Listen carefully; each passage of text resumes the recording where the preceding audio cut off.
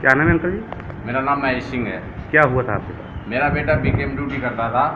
वो ड्यूटी करने जाता था उसे दो हज़ार रुपये पर मंथ मांगे जाते उसने नहीं दिए। कौन माँगता था?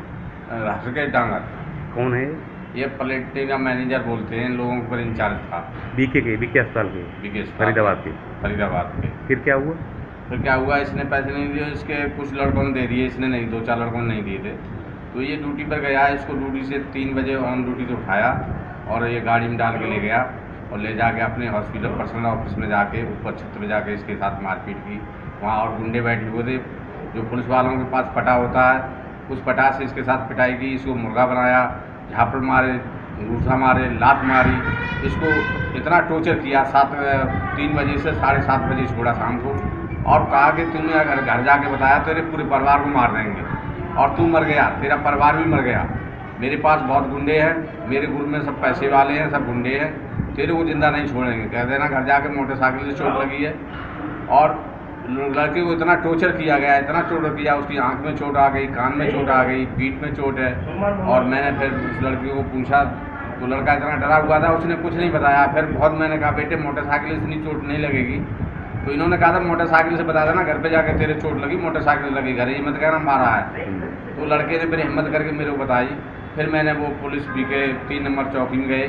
वहाँ पुलिस वालों को मैंने अपनी एफ़ आई आर एक रिपोर्ट दर्ज कराई और दर्ज करा के मैंने उनको बताया। पुलिस वालों ने तुरंत कार्रवाई की और जाके हॉस्पिटल में छापा मारा। तुरंत मेरे कहने पर तुरंत ही गए और वहाँ जाके जो जिस रूम में पिटाई की थी, वहाँ से एक पटा बरामद किया जो पुलिस वालों के पास था पीटने वाला।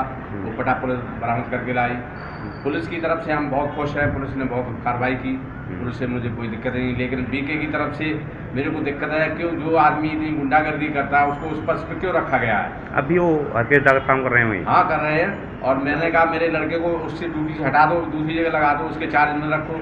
वो बीके वालों ने नहीं सुनी मेरी बात को। मैंने कहा मेरे लड़के को उसके चार्ज से हटा के अपने चार्ज में लगा दो।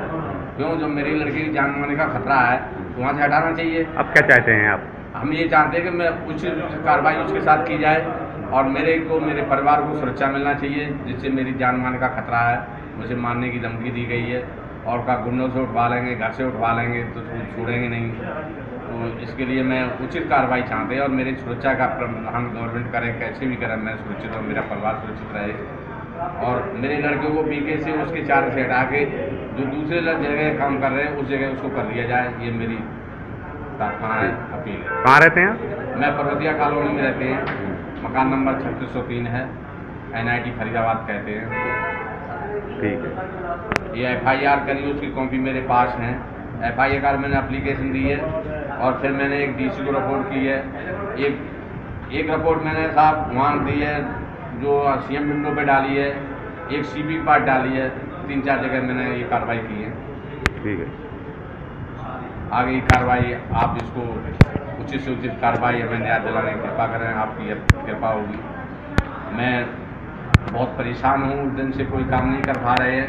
क्यों लड़के की एक टेंशन है मेरे एक मिनट रुक जाओ।